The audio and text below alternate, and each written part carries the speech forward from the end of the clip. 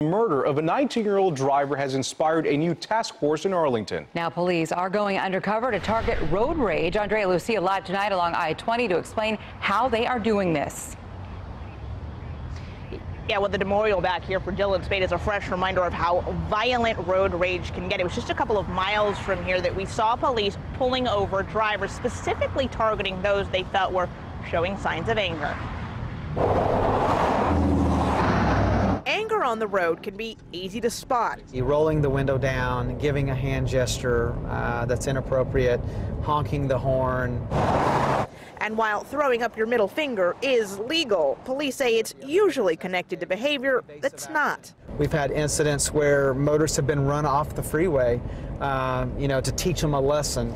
Today, unmarked police cars hit Arlington highways with one undercover officer behind the wheel and another on the lookout for aggressive driving. The pair were communicating details to squad cars ahead, waiting to make the actual traffic stop. In an hour and a half, they pulled over 24 drivers and wrote 25 citations. A couple violations of aggressive tailgating to where they were doing 80, 90 miles an hour and were three feet off the bumper from the car in front of them. The initiative was inspired by the murder of 19-year-old Dylan Spade last week. Police believe the driver of this car became so angry he shot and killed the total stranger.